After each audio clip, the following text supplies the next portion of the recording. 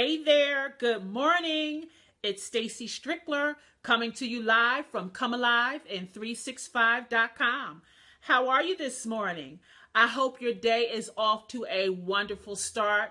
As always, it gives me great pleasure to bring to you another motivational message. And today, I want to encourage you to revisit your whys. Revisit your whys. That's a tongue twister. Revisit your whys. What do I mean by that? Well, why do you want to lose weight? What are you going through this process for? Why do you want to shed the pounds?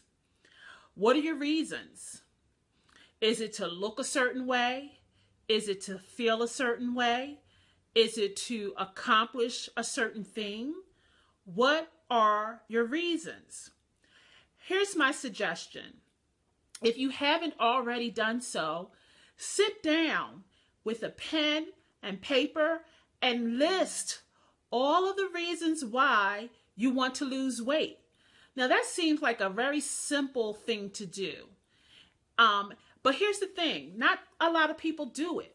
They may have one or two reasons why, but they don't go deep enough to really discover the reason why. That and what I when when you do this exercise, what I want you to think about is what are the things or what is the reason that will get you out of bed each day? What is the reason why that will keep you moving when you just really want to give up? those deep down in your gut reasons why you want to lose weight. For instance, one of mine is um, uh, this past summer, I was diagnosed with high blood pressure. It devastated me. So now that that is the case, my reasons why I want to lose weight is to be taken off my high blood pressure medicine. That's th- that for that reason, that reason will get me out of bed in the morning. That reason will help me to put down the cookie. You see, so when you think about your reasons why, think about those things that really mean the world to you. For some who have children, you want to you want to see your children grow older. You want to see your children have their own children. For others, it may be a long time dream to maybe run a marathon or to do something that right now, because of the weight, you're unable to do. Our, our weight should not hinder us from living our lives. And so, I want you to think about your whys. I want you to list them.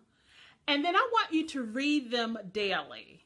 Read them daily. Let them become your your wherewithal. That thing that gets you out of bed in the morning. That thing that keeps you moving. Read them, digest them, let them come, become a living, moving, breathing thing. Again, that'll be the thing that will push you and propel you forward.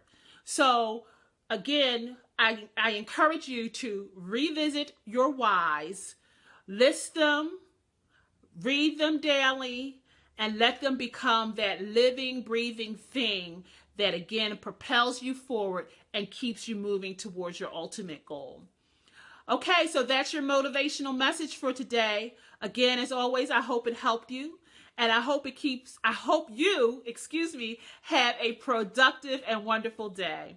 All right, I'll talk to you tomorrow. Love you. Bye bye.